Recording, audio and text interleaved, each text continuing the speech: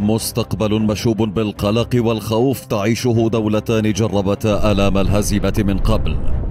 فموسكو ومن فوقها الدب الروسي فلاديمير بوتين يحشدون القوات على حدود فنلندا والسويد.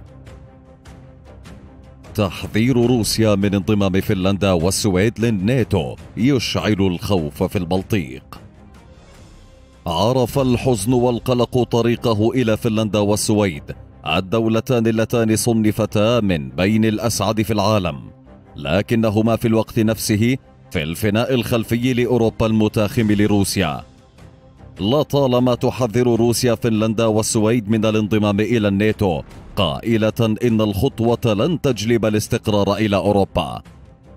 نائب رئيس مجلس الأمن القومي الروسي ديمتري ميدفيديف قال إن روسيا ستعمل على تعزيز حدودها الغربية اذا انضمت السويد وفنلندا إلى حلف الناتو. وكتب ميدفيديف على صفحته بمنصة تليجرام يقول إن تكرار الخطأ الاستراتيجي الذي وقع فيه أسلافه بإهمال الخطر المتربص به من الغرب لا يمكن أن يتكرر. ولهذا السبب تحديدا يصر الرئيس الروسي على فرض الحياد المعلن على جيرانه بالترغيب الاقتصادي والسياسي أو بالترهيب بالحرب التي يتقن الروس فنونها. بلغ التحذير الروسي شدته عندما لوح ميدفيديف بالسلاح النووي وقال في هذه الحالة لن يكون من الممكن بعد الآن الحديث عن أي وضع خال من الأسلحة النووية في منطقة البلطيق. يجب إعادة التوازن. في جانب آخر الجيش السويدي أعلن أنه أرسل ارتالا عسكريه إلى حدود بلاده الشرقية وينتشر الجنود في شوارع مدينة فيسبل الواقعة في جزيرة غوتلاند المطلة على بحر البلطيق وذلك في مواجهة التصعيد الروسي. وجاءت الخطوة منذ أن اجتازت ثلاث سفن إنزال روسية مضيق الحزام العظيم بمحاذاة الجزيرة السويدية. وزعمت القوات المسلحة السويدية في بيان لها في مارس المنصرم أن أربع طائرات مقاتلة روسية انتهكت لفترة وجيزة المجال الجوي السويدي فوق بحر البلطيق شرق جزيرة غوتلاند الاستعدادات العسكرية السويدية لم تكن وليدة اللحظة. ففي عام 2019 أدركت أنها تفتقر إلى قدرات عسكرية حاسمة ولن تكون قادرة على الدفاع عن نفسها ضد هجوم روسي محتمل. لذلك قررت زيادة إنفاقها العسكري بنحو 40% مع زيادة الميزانية العسكرية بمقدار ثلاثة مليارات ونصف المليار دولار أمريكي بحلول عام 2050 كذلك منذ استقلالها عن روسيا منذ أكثر من قرن لم تتوقف فنلندا عن الاستثمار في قدراتها الدفاعية. فطلبت مؤخرا شراء 64 مقاتلة من طراز إف 35 بقيمة 9 مليارات ونصف المليار دولار أمريكي.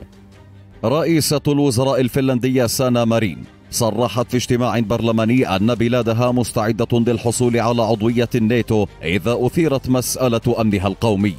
وفي اجتماع مع السويد وفنلندا نهاية يناير الماضي حول الوضع الأمني المتدهور في أوروبا. دعا الأمين العام لحلف شمال الأطلسي يانس ستولنبرغ البلدين إلى الانضمام لحلف شمال الأطلسي مشددا على أن لكل بلد الحق في اختيار تحالفاته العسكرية الخاصة.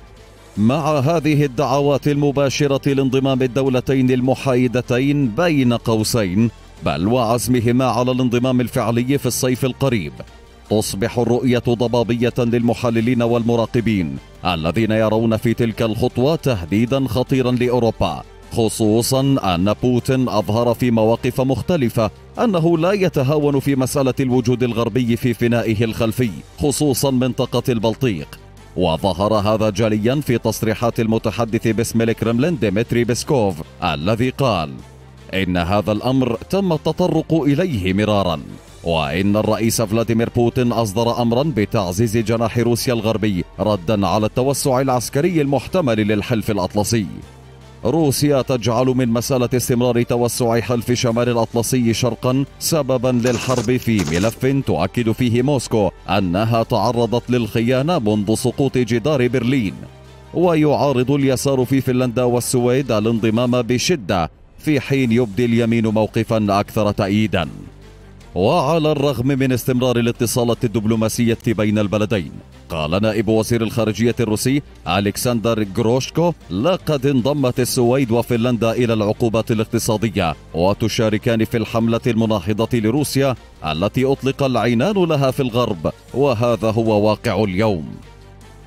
الحشد الروسي على حدود البلطيق جعل فنلندا نفسها تصف الانضمام إلى الناتو بأنه سلاح ذو حدين حيث قالت سانا مارين إن التقدم للحصول على العضوية أو عدم القيام بذلك كلاهما يحملان مخاطر. فريق آخر يرى أنه إذا دخلت فنلندا والسويد في حظيرة حلف الأطلسي ستزيد مساحة مواجهة روسيا مع الكيان الغربي ما قد يهدد بتشتيت الجبهة الروسية وإضعاف وضعها العسكري قبل الاقتصادي. ولكن الشواهد التاريخية تؤكد أن أي صراع في هذه المنطقة سيكون مكلفا خصوصا لدولتين صغيرتين مثل فنلندا والسويد. فبحلول نهاية التقاتل في الحرب العالمية الثانية ظلت فنلندا بلدا مستقلا وإن جرت فلدنتها لكنها اضطرت إلى التنازل عن قرابة عشرة في المئة من أرضها بما فيها رابع أكبر مدنها فيبوري. ودفع قدر كبير من تعويضات الحرب للاتحاد السوفيتي السابق والاعتراف رسميا بالمسؤولية الجزئية عن تلك الحرب. أما السويد في الحرب ذاتها قدمت عدة تنازلات وأحيانا ما انتهكت حيادها لصالح كل من ألمانيا والحلفاء الغربيين. وفي الغزو الألماني للاتحاد السوفيتي سمحت السويد للفيرماخت باستعمال السكك الحديدية السويدية في نقل فرقة مشاة ألمانية من النرويج إلى فنلندا إلى جانب مدافع الهاوتزر والدبابات والأسلحة المضادة للطائرات والذخيرة الخاصة بها. ومع دوي طبول حرب شبيهة في القرن الحادي والعشرين هل سيعيد التاريخ نفسه؟ ويثبت أن الحياد يضاف إلى المستحيلات الثلاثة فيكون هو رابعها.